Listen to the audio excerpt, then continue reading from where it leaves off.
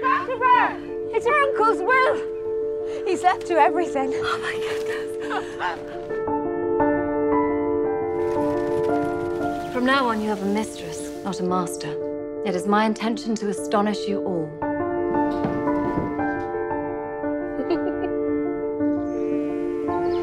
Miss Everdene's here now, so you better do your best for... Perhaps you'd care to lend a hand. You don't think I would? No, you wouldn't.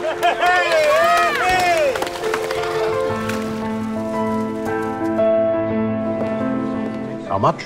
Five pounds a quarter. Very well.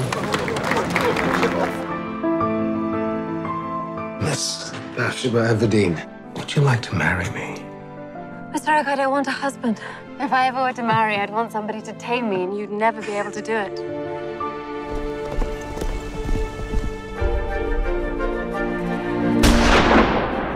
Mr. It's Miss Everdene, your neighbor. Good hunting, Miss Ebony. He's rich. He's handsome. Miss Everdene, I want very much to have you as my wife. I don't think I've ever seen a face as beautiful as yours. Meet me tomorrow.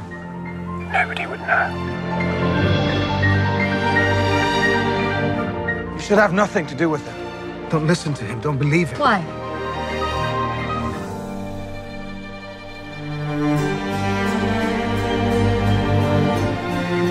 It is difficult for a woman to define her feelings in a language chiefly made by men to express theirs.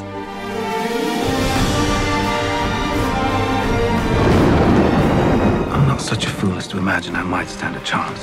One day I will leave you. You can be sure of that. Everdene will never marry you.